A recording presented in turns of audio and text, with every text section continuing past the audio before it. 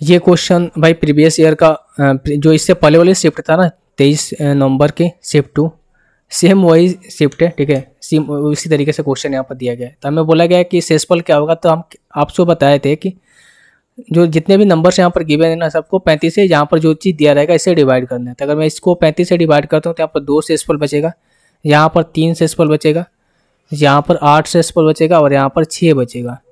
अब इन अभी सबको पैंतीस से दोबारा हमें डिवाइड करना होगा। तो आठ दूनी सोलह सोलह और सोलह छः कितना होता है अभी छियानवे और गुना तीन। छियानवे गुना तीन कर लो, छत्तीस अठारह और नौतीस सत्ताईस एक अट्ठाईस को पैंतीस से डिवाइड कर लो सिंपल अब। तो कितने बार में जाएगा? अठारह के चौबीस, नौतीस, सत्ताईस।